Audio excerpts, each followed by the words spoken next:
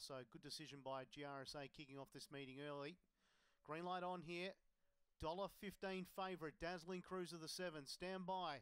Ready, racing, dazzling cruiser dashed out of the boxes straight to the lead. In behind it there was Aussie Show. Then out wider was Mitzi. Further back, Racy Casey. Last of all, there was My Regal Lady. Race on now though. Dazzling cruiser though. Dazzling cruiser, too good. Lands the plunge. Four Oz- Aussie Show ran second. Then came Mitzi, followed by Racy Casey. And My Regal Lady was last of all. Well, they landed some good bets. Dazzling Cruiser in a time of around 1670. We stand by for that to be official. 1673, Dazzling Cruiser. Backed if unbeatable. Aussie Show gave it a run for its money.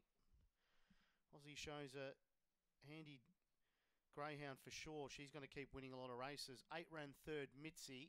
And the five, Racy Casey for fourth. Seven, four, eight, five.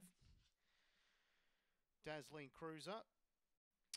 First start here, I think I'm right in saying here in South Australia, had that trial at Angle Park, which was a very good trial, and then they backed as, as if it couldn't be beaten, and it started well here, found the lead, and they couldn't run it down. A uh, bitch by Mapunga Cruiser out of Dazzling Melody.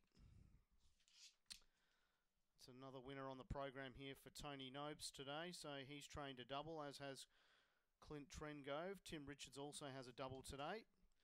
Four ran second, Aussie Show for Scott Feltus.